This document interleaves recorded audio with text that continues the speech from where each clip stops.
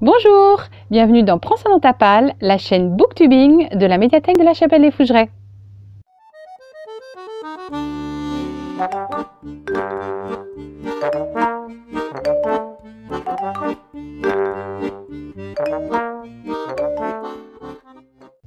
Je vais vous parler aujourd'hui du dernier livre de Valentin Musso qui est paru en fin 2018 qui s'appelle Dernier été pour Lisa. Dans la famille Musso, j'ai donc choisi aujourd'hui le deuxième frère, Valentin, qui est le petit frère de Guillaume. Passons à l'histoire.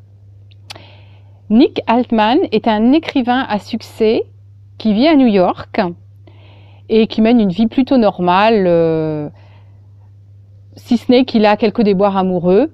Du moins, il a une certaine peur, appréhension à s'engager dans sa vie amoureuse. C'est à l'occasion de la mort de son père, qui était médecin, qu'il revient dans son village natal, Black Oak, dans le Wisconsin. Il ne s'y attendait pas du tout, mais ce retour fait ressurgir en lui un événement dramatique, l'assassinat de sa meilleure amie, Lisa Nielsen, qui s'est produit lorsqu'ils avaient tous les deux 16 ans.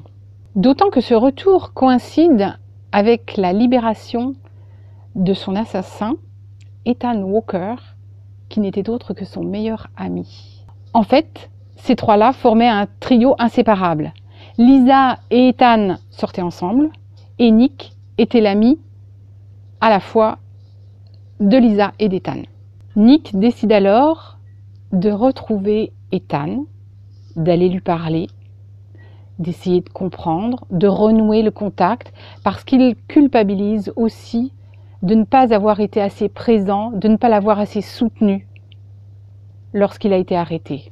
Nick se remet en question, il réalise que l'enquête a été alors à l'époque bâclée et il décide alors de mener sa propre enquête à l'aide d'un homme providentiel, Alistair, pour trouver le coupable. Et ceci malgré l'hostilité des habitants de Black Oak qui restent persuadés que Ethan est le seul coupable. Mais que s'est-il bien passé sur les rives du lac Michigan ce samedi 21 août 2004 Nick ne veut pas croire en la culpabilité d'Ethan. Plus il avance dans cette enquête, plus il est persuadé que la vérité lui permettra de se reconstruire. Cela faisait longtemps que je n'avais pas lu Valentin Musso.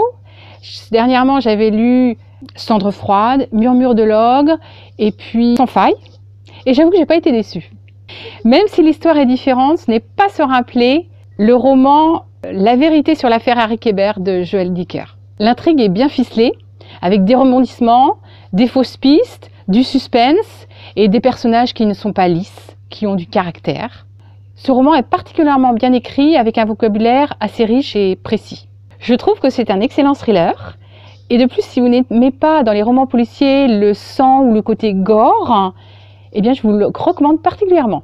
Donc, si vous connaissez dans la famille Musso Guillaume et pas encore Valentin, je vous propose de découvrir Valentin Musso. À bientôt pour la prochaine de Prends ça dans ta palle. Au revoir.